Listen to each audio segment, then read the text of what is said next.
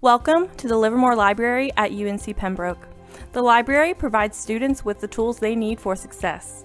Livermore Library has easy to search online resources, but unlike Google, we have friendly librarians to help you get exactly what you need. We offer online chat, email, texting, and even video chatting through our Ask a Librarian services. Here at the Livermore Library, we have more than just scholarly info, and no matter how you want to study, we have a space for you.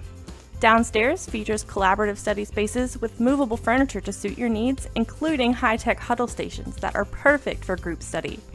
If you're looking for a quieter space to study, we have individual study spaces as well as private group study rooms. Need a snack during your study sesh? Check out Cafe 641. They're home to waffles, sandwiches, coffees, smoothies, and much more.